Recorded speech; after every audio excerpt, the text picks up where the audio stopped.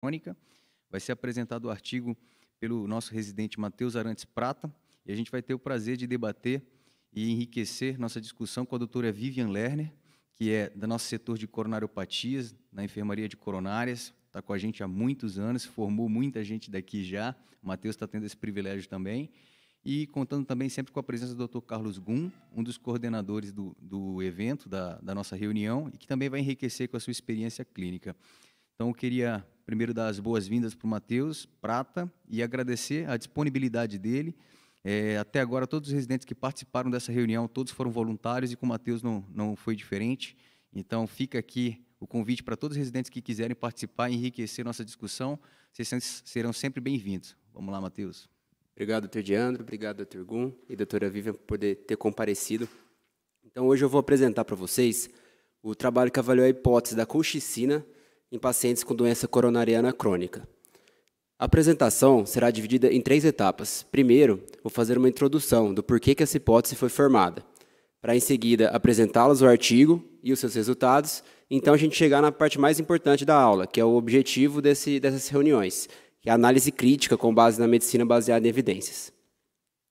O racional por trás da colchicina vai de, vem desde a teoria inflamatória, muito bem já descrita, desde a lesão endotelial, migração de leucócitos, a sua adesão, degranulação, macrófagos fagocitando lipoproteínas, células espumosas, ativação de células T, tudo isso demonstrando a grande atividade inflamatória nas placas ateroscleróticas, sabendo que quanto mais inflamação, mais instável essas placas são e mais propensas a, a erosões, rupturas, podendo causar um desfecho cardiovascular. E a colchicina, de muito tempo, é também sabida um bom anti-inflamatório, usada já na gota e, eh, para nós cardiologistas, na pericardite. Ela tem uma ação de inibir a polimerização da microtubulina, garantindo um espectro muito amplo de anti-inflamação. Ela diminui a mitose, migração dos leucócitos, e, e, por causa de toda essa, essa ação, esse amplo espectro, ela tem essa atividade anti-inflamatória. Partindo disso, nas últimas décadas, vieram surgindo estudos tentando comprovar essa ação anti-inflamatória reduzindo desfechos cardiovasculares. Em 2013, a gente teve um primeiro estudo com a colchicina. Foi um estudo pequeno,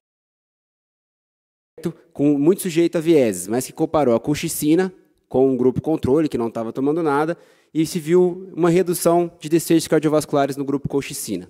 Como era um artigo muito sujeito a vieses, ele apenas serviu para formular hipóteses para a gente.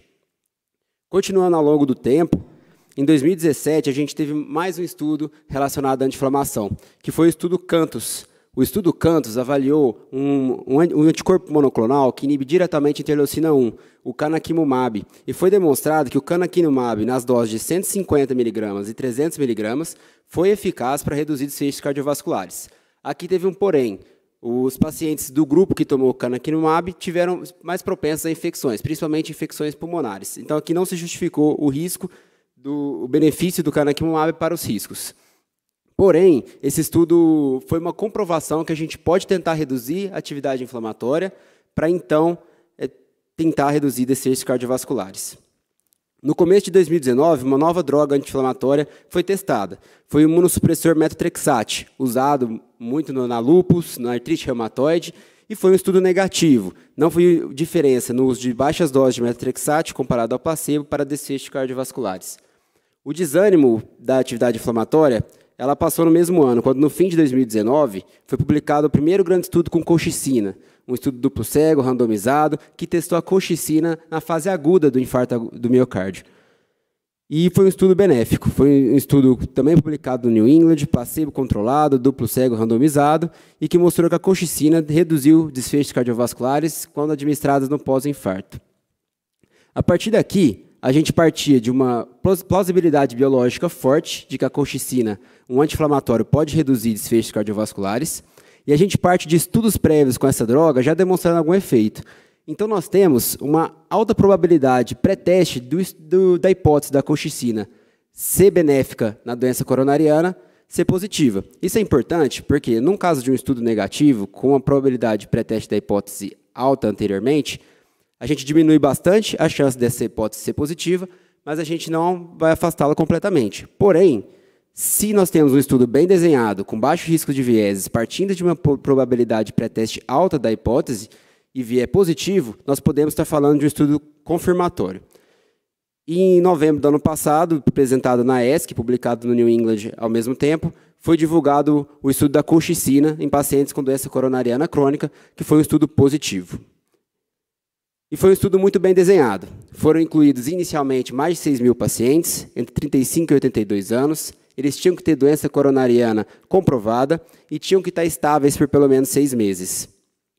Foram excluídos pacientes renais crônicos, pacientes com insuficiência cardíaca avançada, valvopatas graves e que tinham alguma intolerância à coxicina. Só um detalhe com relação aos renais crônicos.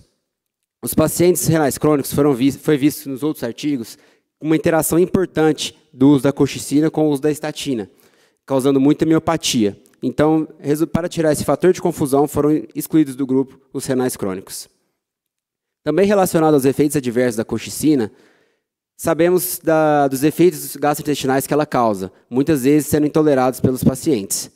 Então, os investigadores decidiram dar a colchicina para esses 6 mil pacientes durante um mês, na dose de 0,5 miligramas, uma vez ao dia, para ver qual deles se beneficiaria, qual deles seriam tolerantes à droga.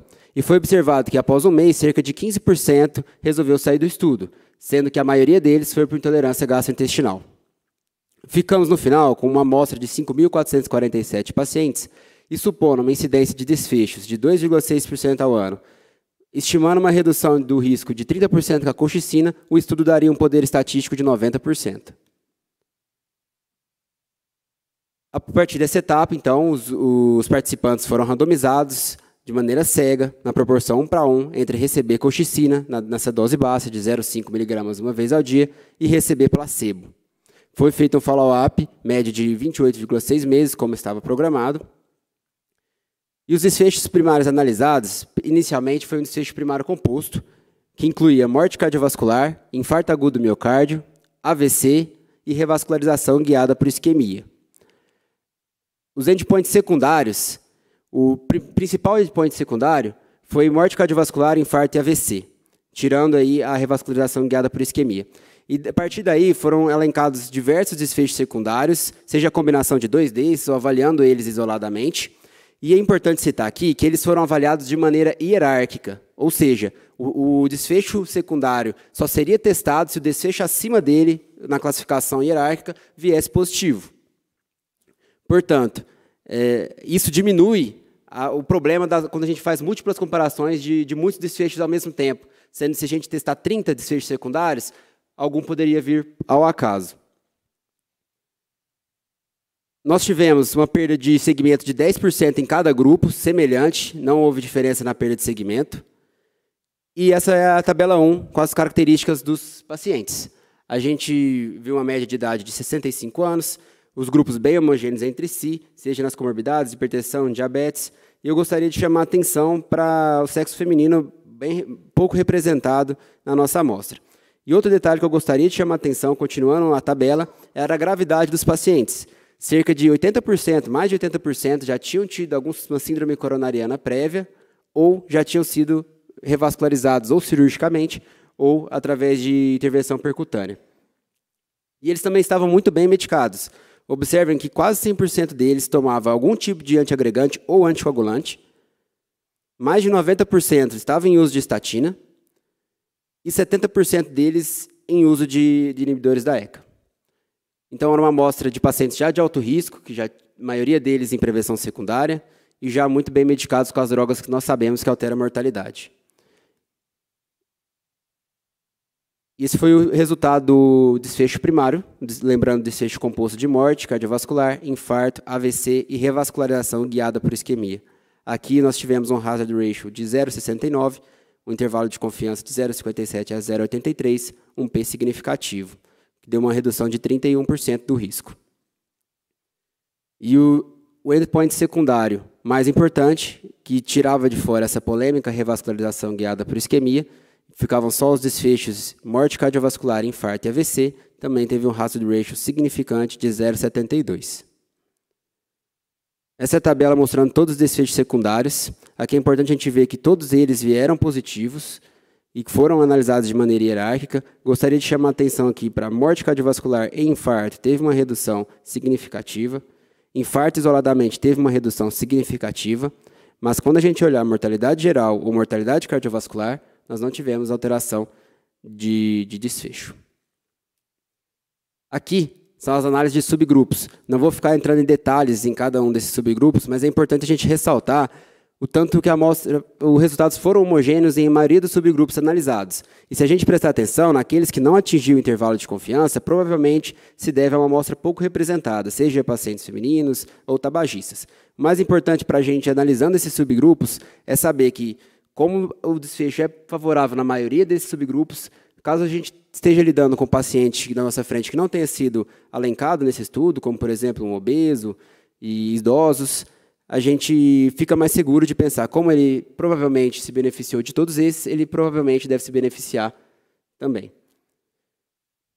Tão importante quanto a gente ver os benefícios da droga é estudar os malefícios que ela pode ter causado no estudo longo prazo da colchicina. E não se observou a diferença de desfechos da colchicina com placebo nas, nos eventos adversos analisados, seja no diagnóstico de câncer, sem alteração significativa, na hospitalização por infecção, na hospitalização por pneumonia e por distúrbios gastrointestinais. A, a mialgia, que foi vista uma interação importante com os pacientes em uso de estatina, que eram renais crônicos, não foi vista alteração nos pacientes desse estudo.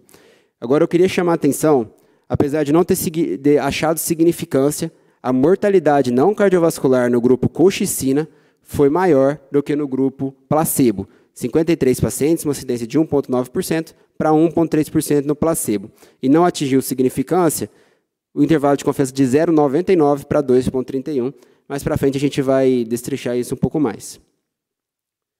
Agora, eu já apresentei para vocês o, o, porquê do estudo foi feito, os resultados, para a gente entrar na, no, no, momento da discussão, análise crítica do, do estudo.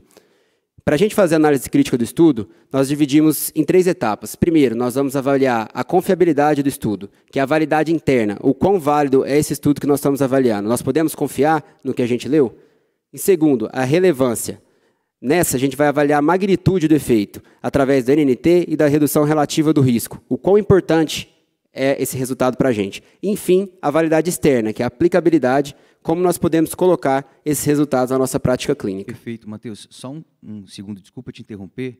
É, a gente está apresentando aqui com foco principal no residente e isso aqui, pessoal, é o que a gente tem como o nosso objetivo principal, é que vocês consigam compreender que todo artigo que chega na nossa mão, a gente tem que passar por esse crivo, a gente tem que fazer essa análise em, em três etapas distintas, porque o que, que o pesquisador clínico faz? Ele gera conhecimento, mas quem tem o poder de interpretar esse conhecimento da maneira mais adequada para saber se tem validade para a sua prática clínica somos nós, que estamos aqui diariamente lidando com esse tipo de paciente. Então, isso aqui é o que vocês têm que ter em mente toda vez que for pegar um artigo científico para fazer uma avaliação. Será que eu posso aplicar isso na minha prática clínica? Mas para chegar nessa etapa final, você primeiro tem que ter certeza de que o estudo tem uma validade interna, que os resultados eles têm uma magnitude que sejam compatíveis com o que você julga pertinente do ponto de vista clínico, ou seja, tenha uma significância clínica, e ao mesmo tempo você tem que ver o que o Matheus já adiantou alguns minutos atrás, é se existe a possibilidade de generalizar os resultados para a sua população. Isso a gente já fala de validade externa. Então a gente vai discutir item por item agora, e é, é o foco principal da nossa discussão é esse, esse slide aqui, tá, pessoal? Vamos lá, Matheus. Perfeito. É a gente iniciando pela confiabilidade, então, do artigo, a validade interna. E para isso, a gente divide em critérios primários e critérios secundários.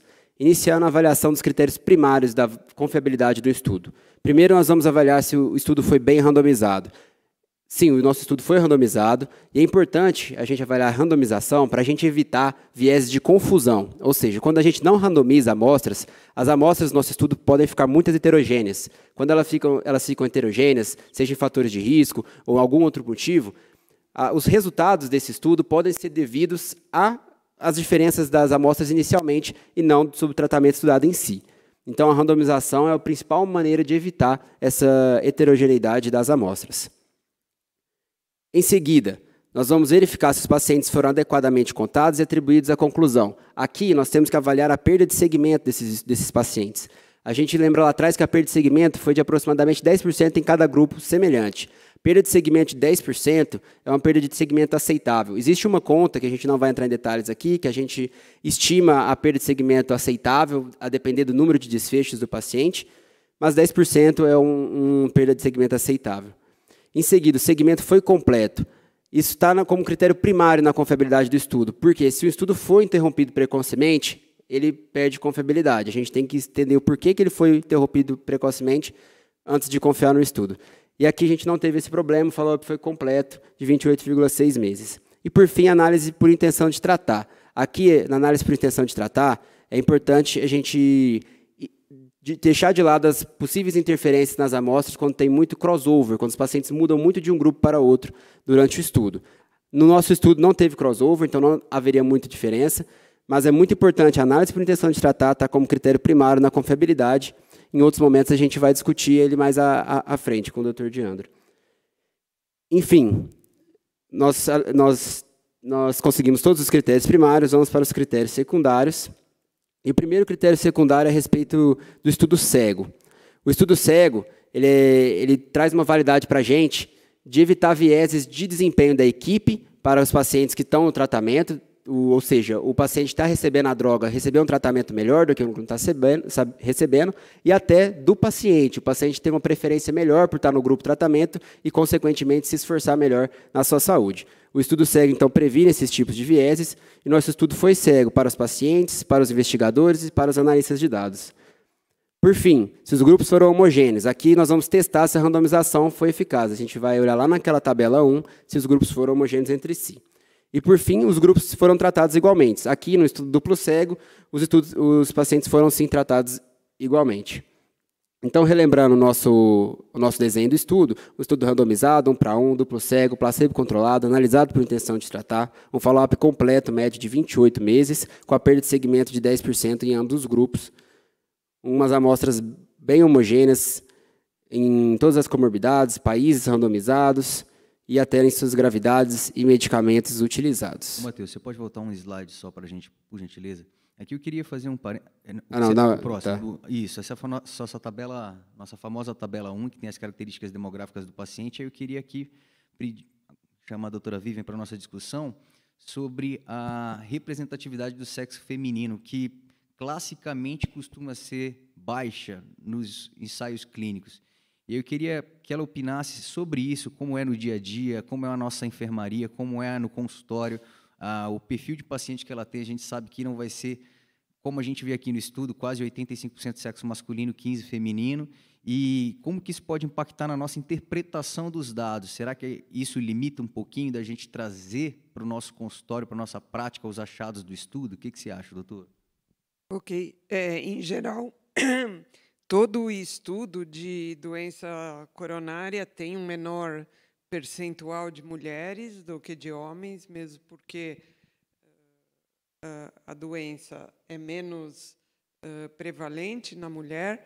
Por exemplo, em todos os bancos de dados de, de cirurgia de revascularização miocárdica, os homens correspondem, a 70% da população e as mulheres a 30% da, da população. Nesse estudo, especificamente, sem dúvida nenhuma, como o Diandro chamou a atenção, a representatividade das mulheres é, é pequena e isso pode ser uma limitação para a aplicabilidade do resultado. Perfeito. Bom, então, com relação à confiabilidade do estudo, a gente consegue colocar um check em todos os critérios para a gente ficar seguro de confiar nos resultados que foram apresentados para a gente. E agora nós partimos para a relevância. O quão importante foi esse estudo? Qual a magnitude do efeito desse estudo? Aqui, a gente vai avaliar a dimensão do efeito do tratamento através da redução relativa do risco e do NNT. Lembrando que a redução relativa do risco a gente pega a incidência, a gente pega o, o, o hazard ratio, pega, subtrai 1 sobre o, o risco que foi apresentado para a gente e vê o quantos em por cento nós diminuímos a chance de eventos. E o NNT tem relação com o risco absoluto, a subtrair as incidências do maior sobre o menor e a gente faz uma divisão de 1 de 100 sobre ele, para nós sabermos quantos pacientes serão beneficiados do desfecho quando a gente dá a droga. Não, quantos pacientes nós precisamos tratar para que um seja beneficiado. E em relação à precisão da estimativa do desfecho, do, do efeito do tratamento, é através do intervalo de confiança. O intervalo de confiança não serve só para a gente avaliar se passou ou não passou de 1. Ele serve para a gente também estimar a precisão dos nossos resultados. Quanto maior esse intervalo de confiança, menor essa precisão. Ou seja, tem muitos intervalos, um desvio padrão muito elevado, e quanto mais menor for esse, esse intervalo de confiança, mais preciso, menos os, números, menos os resultados estão variando entre si. Então eu trago para vocês aquela tabela dos desfechos. Primeiro, o desfecho composto, o principal analisado. Um, teve uma redução relativa do risco de 31%.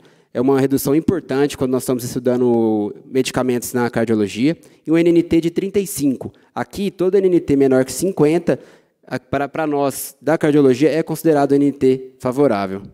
Agora, queria convidar para o debate o Dr. Carlos Gum. Queria a sua opinião, Dr. Carlos Gum, em relação a esse NNT, né? Um NNT de 35, uma redução de risco relativo de 31%. Que que você, qual a sua opinião sobre esse desfecho do ponto de vista clínico? Você, quando pega esse estudo, encontra esse resultado, fazendo essa, essa análise mais detalhada, como o Matheus mostrou, você fica feliz quando pega um resultado como esse? Você acha que, poxa, tem o potencial de impactar realmente a, a vida do meu paciente? É uma medicação que eu posso pensar em prescrever baseado nesse resultado? Leandro, é, inicialmente eu queria realmente agradecer e, e falar a, a importância para todos os residentes desse tipo de análise. É fundamental. E a iniciativa foi do Diandro. Espalhem para o pessoal. Essa reunião está maturando, é a terceira ou quarta reunião vão entrar novos residentes. Isso é muito importante, principalmente essa parte, né, Diandro, como você bem falou. Muito bom. Se eu pego um, um, um NNT de 35 para um cardiologista, é uma coisa muito boa. Teoricamente, você precisa tratar 35 pacientes para ter uma redução de 30% de, dos endpoints que foi composto primário por vários subitens. Lembra? Tem análise individual e tem o composto. Na vida real, quando eu pego uma coisa dessa, já que tem relevância interna, confiabilidade, estamos indo, e depois vamos ver a bendita aplicabilidade clínica, aí a coisa começa a estremecer. Quando eu vejo isso, e a Vivian também deve concordar, nossa, mãe, ah, legal, acho que eu vou dar uma droga barata, diminui 30%, NNT de 35%, Diana, vamos em frente. Mas vamos ver depois o que acontece na vida real. Desde 1916, que você mostrou os trabalhos que saíram, 13 quando saiu para o infarto agudo, os primeiros, e estamos esperando aí, cadê a colchicina? Mas depois nós vamos comentar. Pelos números, perfeito, eu daria. Mas vamos ver o que acontece na aplicabilidade, né? Perfeito. E dando continuidade, então, à relevância, aqui, tirando de, de lado a revascularização guiada por isquemia, só morte cardiovascular, infarto do miocárdio ou AVC, nós tivemos uma redução relativa do risco de 28% e um NNT de 66%. Quando a gente olha infarto agudo do miocárdio isoladamente, uma redução de 30% de infarto, um NNT de 83. Porém, nós não atingimos significância na mortalidade cardiovascular. Então, da relevância do nosso artigo, a gente parte para a aplicabilidade. Agora, como a gente vai incorporar esses resultados na prática clínica? A primeira pergunta é se os resultados podem ser aplicados aos meus pacientes. E a primeira coisa que nós temos que avaliar é a respeito do, da gravidade dos pacientes nesse, nesse estudo com relação ao paciente que nós estamos avaliando. Nós vimos aqui que os pacientes, a maioria, estavam em prevenção secundária. Então, nós não podemos extrapolar esse estudo para pacientes com uma doença coronariana achada ao acaso que nunca teve evento prévio. Após, os objetivos clinicamente relevantes foram considerados, aqui nós estamos, estamos avaliando o quão importantes foram os desfechos avaliados. Aqui nós vamos separar se o estudo avaliou desfechos duros ou desfechos moles. E nós vimos que os desfechos são bem duros. Desfechos como morte cardiovascular, infarto e AVC. Tendo incluído também a revascularização guiada por isquemia, mas tirando ela de jogo também tivemos um benefício importante. Agora a terceira e mais polêmica, se os benefícios superam os riscos do tratamento. E aqui eu trazer de volta aquela tabela demonstrando os efeitos colaterais, os efeitos adversos, que não teve significância em nenhum deles. Normalmente, quando a gente compara risco e benefício, a gente tenta comparar o NNT com o NNH, lembrando que o NNH é o número necessário to harm, para causar dano. a gente calcula de maneira semelhante ao NNT, diminuindo a incidência de efeitos adversos do grupo placebo com o grupo tratamento. E aqui a gente não pode fazer esse cálculo porque não atingiu significância. Mas um detalhe que o intervalo de confiança foi de 0,99 a 2,31. Se fosse 1,01 a 2,31, a manchete na Globo talvez seria que colchicina aumenta a mortalidade em 50% dos pacientes. Excelente. Eu acho que vale um debate aqui, a gente comentar um pouquinho sobre isso. Mas eu queria a participação de vocês. Como a gente falou que o foco principal é no residente, eu vou chamar aqui pessoas que eu já conheço que são engajadas, que vão trazer respostas boas. Manu, você está na minha frente, você está olhando para mim. Eu queria que você respondesse, não tem certo e nem errado, tá, Manu? Se você puder colaborar com a sua opinião para a gente aqui no microfone. Se você pega esse resultado, eu vou traduzir novamente o que o Matheus falou. Vitor, você também fica à vontade. Você tem um resultado ali que você vê que cruzou a nulidade, porque o intervalo de confiança foi de 0,99 até 2,31, você tendo um, o valor médio ali do hazard ratio de 1,51. Isso deixa você preocupado? Bem, de forma bem objetiva. Pega você... o microfone, ó, levanta, é bem formal, gente. É só pro... Por que, que tem que falar aqui no microfone? Senão o pessoal em casa não ouve, porque está sendo transmitido pelo YouTube. Você pode responder daí para mim que eu vou traduzindo é. aqui para o pessoal que está escutando de casa. Vocês ficariam preocupados com esse resultado em termos de segurança? Pensar, poxa, será que se eu utilizar para o meu paciente tem o potencial de aumentar a mortalidade? Maju já está respondendo ali que ficaria preocupada. Maju respondeu dizendo que sim. E que que, por que, que você acha que talvez seja preocupante isso? O que, que vocês refletem? Toda vez que a gente escolhe um, um desfecho para avaliar, você vai ter que escolher o nível de significância, né, o valor de P que você vai considerar como, é, do ponto de vista estatístico, como significativo para você dizer que não foi relacionado ao acaso aquele achado. E aqui a gente vê que fica muito próximo, está né, tá bem próximo da, da, do, de um P significativo, não é isso, Matheus? E você fica preocupado porque será que de repente se a amostra fosse maior, se o tempo de segmento fosse maior, pudesse ter um, um impacto diferente sobre o meu paciente. Isso a gente está falando em termos de segurança, mas isso também serve quando você está falando de eficácia, não é, doutora? Doutora Vivian, às vezes a gente pega um resultado de um estudo que a gente vê que foi negativo simplesmente porque o P foi 0,051, mas você vê que o desenho de estudo tem uma plausibilidade biológica, que o, o desenho de estudo foi muito bem feito e que por algum motivo não chegou aquele valor que você tinha pré-determinado de menor que 0,05. Isso, de, de alguma forma, pode é, dizer que, ah, não, então eu não vou aplicar jamais essa medicação, ou você chega a refletir, ver todo o estudo e ver em que cenário você poderia eventualmente aplicar? Como você interpreta isso para a gente? Não, é, é, exatamente o que você pontuou. A gente tem que conhecer a fundo o, o estudo e o resultado do estudo. Nós já tivemos exemplos é, na literatura que um, que um estudo, no primeiro período determinado, não demonstrou significância, mas o feeling dos investigadores e de todos que avaliaram o estudo é de que haveria significância, tanto que alguns estudos foi foi estendido o período de follow-up e aí sim foi demonstrado significância. A gente já teve esse exemplo na literatura, então, sem dúvida nenhuma, o resultado não são só números. Você tem que ter o conhecimento mais profundo do assunto que está sendo estudado e o feeling do que é necessário para demonstrar o resultado ou não,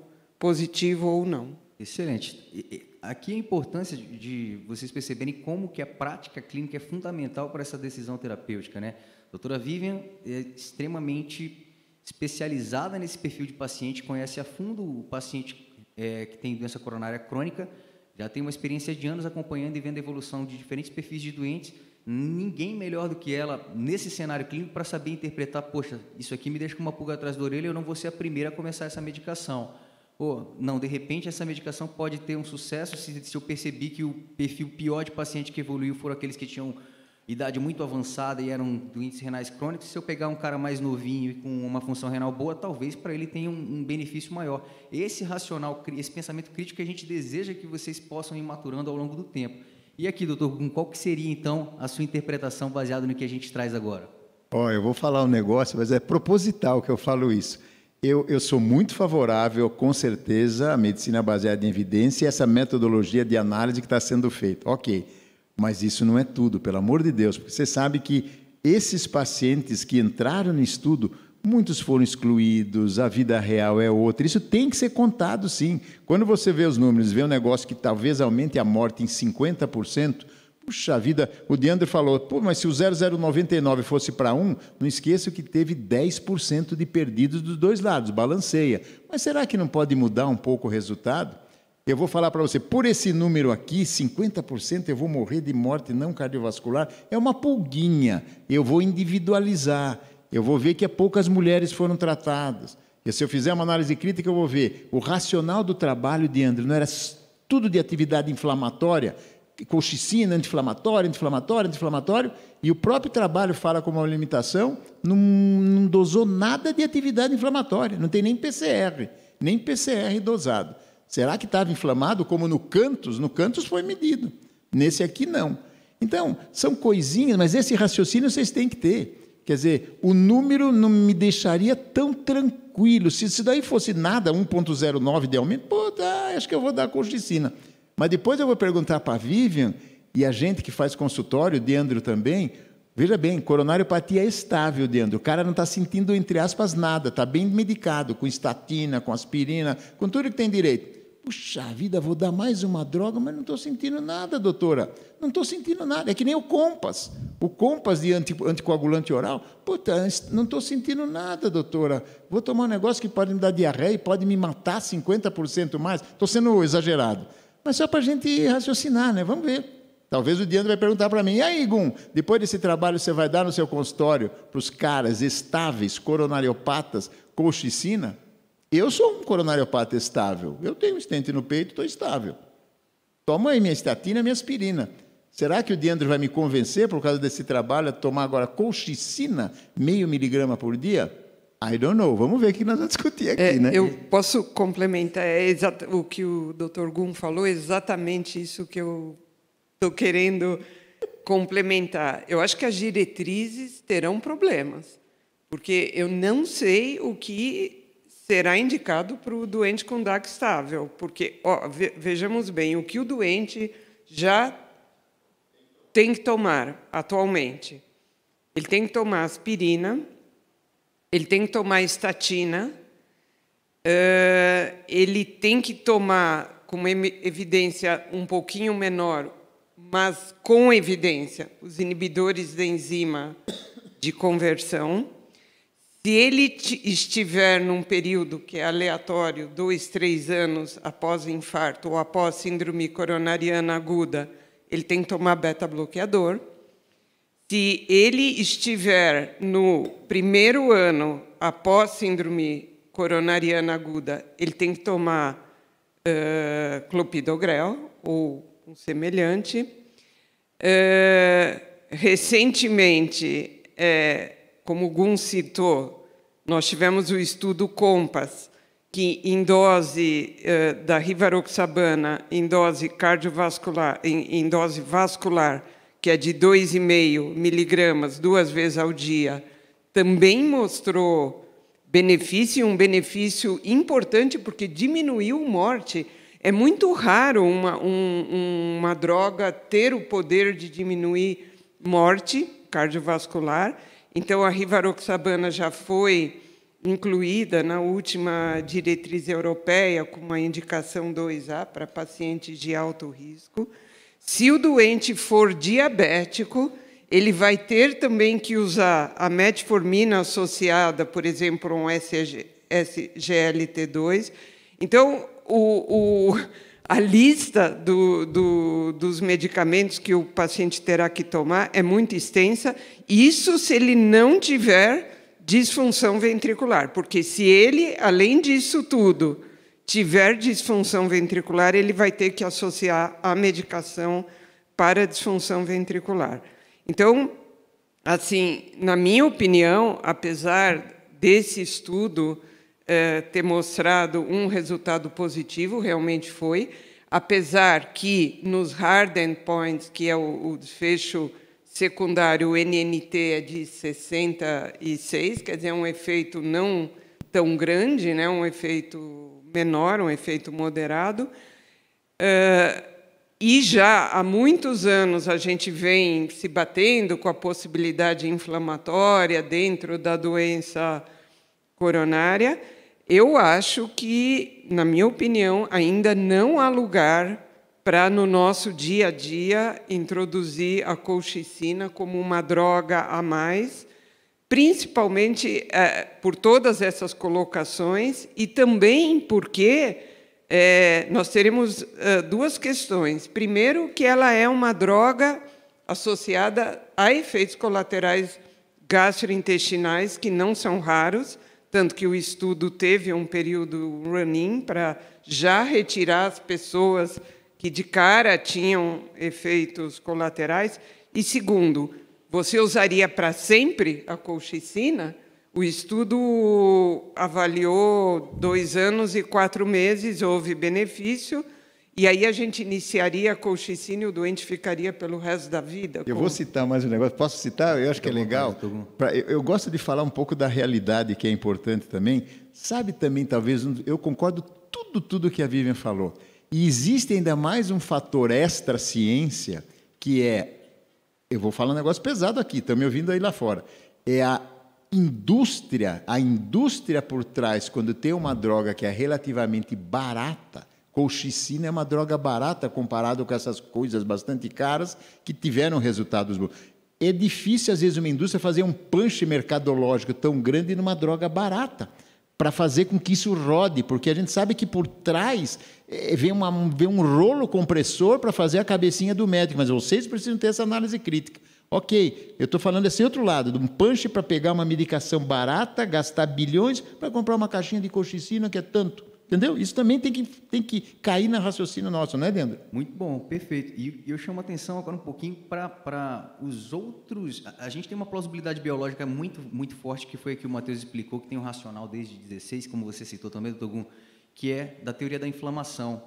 E aqui a gente vê a abordagem medicamentosa, com, com classes de medicamentos muito caras, outras mais baratas, mas que tem o intuito de intervir na inflamação.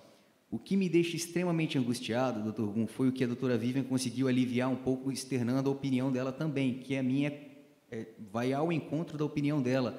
A gente vê cada vez mais nossas diretrizes, e aqui vai uma crítica para a nossa, nossa classe de cardiologistas, quem faz as, as, as diretrizes somos nós, né? vocês que estão aí na linha de frente há muito mais tempo do que eu, que se reúnem e vão a, a debater as evidências para colocar nas diretrizes o que, que tem de interessante para o tratamento do doente a gente vê que cada vez mais vai aumentando esse número de medicamentos baseados em estudos que têm um, um P significativo, e daí por isso que eu repito para vocês, o estudo não é só o P, e a gente está falando de inflamação. E o que me dá uma angústia extrema?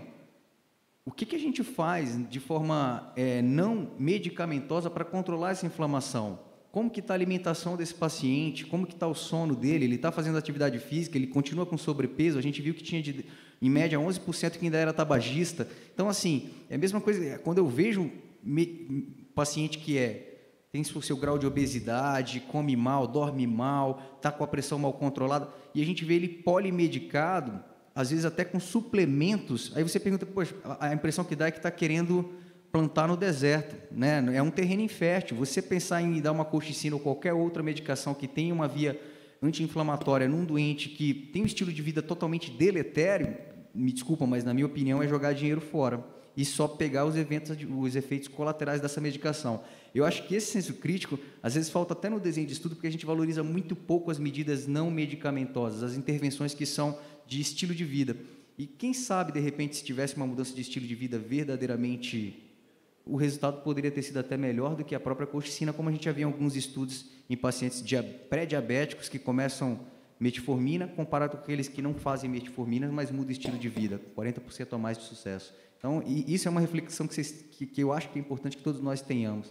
Pode seguir, Matheus. Doutor, é, eu queria fazer uma confissão aqui, que eu tinha terminado o estudo, na hora que eu fui para preparar a apresentação, que eu li o artigo pela primeira vez, eu fiquei bastante empolgado, né? Ainda é, não tinha estudado direito as medicina baseada em evidências, e, mas mesmo assim, na hora de preparar a apresentação, vi que batia todos os critérios de confiabilidade, a mortalidade deixava a gente com o pé atrás, mas não, não era uma coisa tão grande. E ontem, quando eu estava repassando os slides ontem à noite, eu reparei num, num, achado que eu não tinha prestado atenção antes, que eu gostaria de mo mostrar para vocês. É, e assim, eu vi algumas entrevistas, ninguém comentou sobre isso também. Eu queria que saber se isso tem alguma implicância para a gente. Vou deixar 30 segundos aqui para a gente dar uma olhada nessa tabela de subgrupo. E eu vou, vou ver se tem alguma coisa que inquieta, deixa a gente um pouco inquieto. Pegadinha, hein? Deixa eu ver. Às vezes a pegadinha, É uma pegadinha. eu gosto de pegadinha. Vamos ver. Vamos ver. Deixa eu ver o que, que é aqui que o Matheus quer pegar. Mateus, no, existia alguma coluna de P de interação ou a tabela está Não, não, não tinha. A, a tabela está completa. A tabela essa tá completa. Idade. Tem, tem a, o benefício para os pacientes da Austrália foi muito maior do Exato. que o benefício dos pacientes da Holanda. Eu achei uma disparidade assim É, muito bizarra, de 50% de redução nos pacientes da Austrália. E se a gente pegar a Holanda, que teve mais pacientes randomizados, a gente não encontrou diferença do estudo. E isso não foi citado no artigo, isso não foi citado em todas as fontes que eu dei uma procurada. Eu isso me deixou com mais pé atrás ainda. Não sei se na Holanda tem outros fatores anti-inflamatórios legalizados, mas É, Diandro não deveria É, ter esses o- fatores são diferentes. Não deveria ter o P da interação aí? Então, era o que a gente esperava de encontrar. Eu, você pegou isso no anexo, Matheus? Ou foi lá no, no- Onde é que você conseguiu pegar essa imagem? tá no, tá no apêndice, Tá no do apêndice, subgrupo. No É, apêndice. Deveria ter sim, doutor. Ou embaixo, Sim. ou, ou no, no letreiro embaixo, deve ter alguma explicação do P. Perfeito. E, e- com certeza, isso é algo que a gente tem que buscar entender por quê, né? E, e, às vezes no editorial, o New England recebe lá no editorial, olha, a gente percebeu isso daqui, por que que é? E geralmente os, os autores eles vão retratando, explicando a possível justificativa para encontrar uma diferença tão grande como essa, né? Mas muito muito legal que você tenha percebido isso. Primeiro que você vê que são duas regiões que são bem diferentes do nosso país, né, bem diferentes do Brasil, então isso já, isso já impacta também quando você pensa em generalizar seus resultados, isso é uma coisa que também você tem que pensar. E essa diferença entre dois países no mesmo estudo chama atenção, a gente já teve isso em alguns outros estudos, né? Já. Não, não, não, é, não é infrequente isso acontecer. Por exemplo, num, vou só citar um estudo super importante onde isso aconteceu, é o Freedom. Por exemplo, no estudo Freedom, quando na análise de subgrupo foi, eh, só relembrando, o estudo Freedom comparou a cirurgia versus stent farmacológico para pacientes diabéticos. A mortalidade do estudo foi muito baixa, a mortalidade global, a mortalidade operatória do estudo foi muito baixa comparado ao que a gente encontra normalmente. E quando foi feita a análise de subgrupo, foi visto que quando você separava os Estados Unidos do resto do mundo, o benefício, o grande benefício era nos Estados Unidos e muito menor no resto do mundo, com o P da interação ah, positivo, quer dizer, mostrando que realmente o, o benefício era muito maior nos Estados Unidos, provavelmente às custas de uma mortalidade operatória extremamente baixa que não tinha sido encontrado no resto do mundo. Muito bom. E aqui fica de novo a reflexão. A gente às vezes pega um estudo, doutora, que vê lá, nossa, o resultado é excelente, e a gente não para para pensar onde foi feito, né? Por exemplo, você está falando de cirurgia. Quantas cirurgias por, por ano faz nesse, nesses locais onde foram realizados estudos? É tanto que quando você tem algum estudo multicêntrico, é, entra na, na, na análise justamente isso, né? Existe na, na randomização, quando você vai fazer a análise do estudo, entra como uma variável que você tem que ver justamente a qualidade assistencial de cada um desses, desses hospitais, porque isso impacta diretamente na nossa interpretação dos resultados, né? E eu acho que é muito válida essa discussão. Eu já vou aproveitar aqui, encerrando no nosso último minuto. Você tem mais alguma consideração, doutor Gum? Pra. Eu tenho, só para. Mesmo que a gente vai até 8 e 2, são 7,59.